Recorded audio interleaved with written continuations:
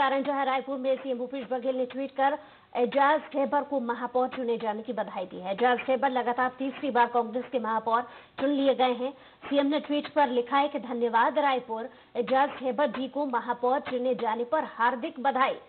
तो वही एक ट्विटर की तस्वीर आपको दिखा रहे हैं जिस पर सीएम ने राय, रायपुर वासियों को धन्यवाद किया है।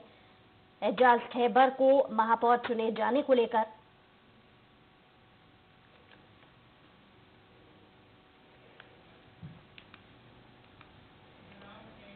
देहरादून में प्रांतीय